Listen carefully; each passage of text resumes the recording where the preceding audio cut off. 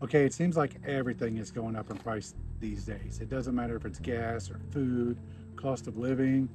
I'm surprised they're not taxing us on oxygen yet, but that could be coming.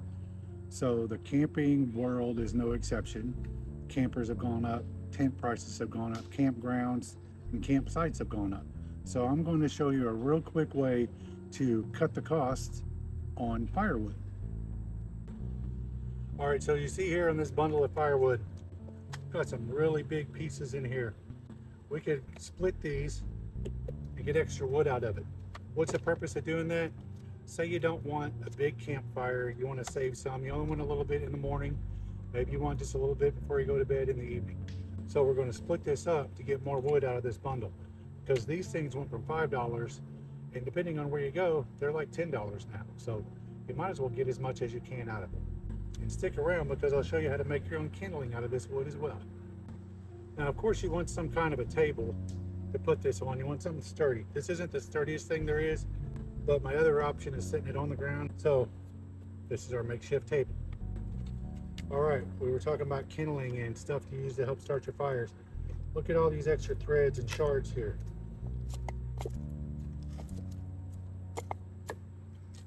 Save some of those for later. Find you a good piece of wood. You can see there's a little bit of a crack right here in that wood. So I'm going to try to get it with my axe. Of course I have bad aim. Here's the loud part. So do this during the daytime. Don't do this at 9, 10 o'clock at night when your neighbors are like, who in the heck is beating on something over there? So here we go. We're just going to split this.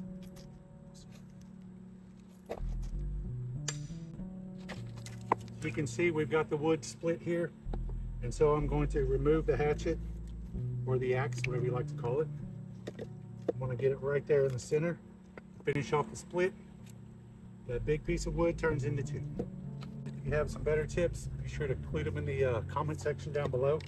I know there's some wedges you can buy that would work a lot better than what I'm doing right now, but this is what I'm doing.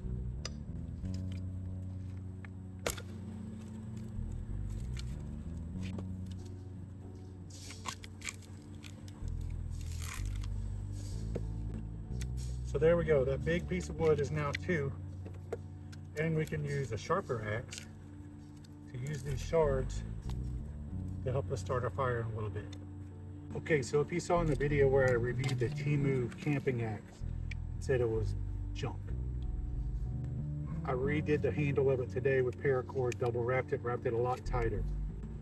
Still has a nice little edge on it.